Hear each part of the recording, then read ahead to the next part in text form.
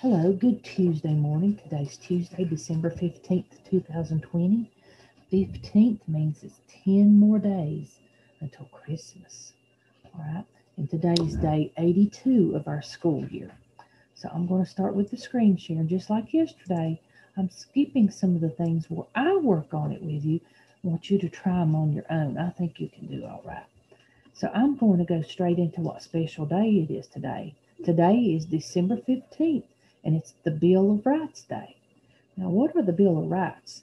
That has something to do with about us being citizens and good citizens, and we have rights and responsibilities. Remember, we kind of learned about that earlier in the year. But the Bill of Rights are the rights we have in the United States, and they've been here ever since the United States was created. And so I have a link right here of a video I would like for you to watch. So please watch this video to learn about the Bill of Rights on today, December 15th, Bill of Rights Day. Now, another thing that I want you to be very watchful for is our journal page has changed just a little bit. What I have found is a website, and I'm going to keep my fingers crossed that it works for you. It's got some neat Christmas prompts. And so I got a Christmas picture and I linked it right here. So let's see how it works when you click on it. Okay. And you have a student login and you need to sign in with Google. And then you'll choose your name. Okay. I'm going to choose mine. It'll look a little bit different from yours, but you should be able to log in. And so here you just type in your name this access code automatically comes up and then we'll click enter. And it'll come up like this. And if you'll notice right here is the date 14. This is for the 14th, okay? No, it's supposed to be for the 16th. It didn't make my change on it. But this one is what is for today, okay? Even though it says 14. I tried to put a 16 in there, it wouldn't let me. No, it's supposed to be the 15th. Sorry. I'm looking at my notes. So it's stuck in a snow globe. It says color the picture and complete the sentence. Remember to be descriptive.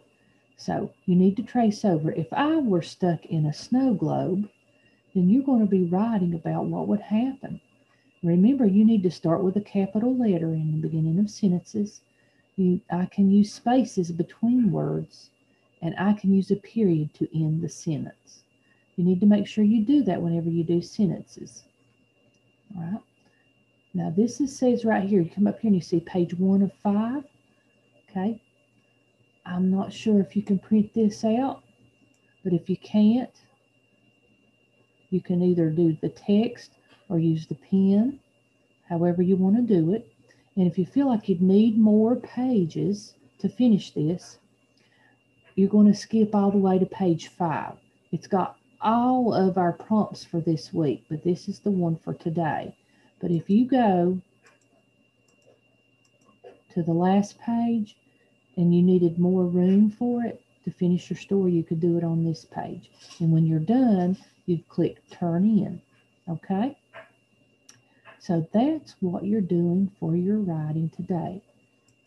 And I'll go over these other ones the other days. But today, you're talking about a story. What would you do if you were stuck in a snow globe? Write about being stuck in a snow globe. All right.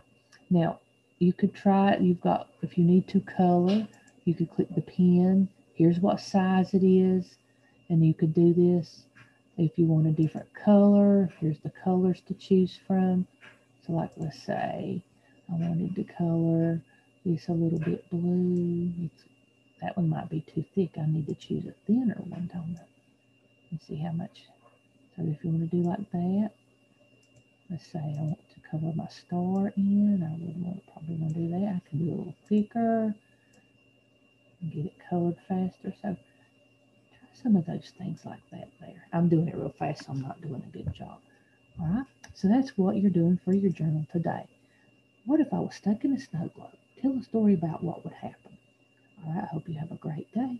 Bye bye.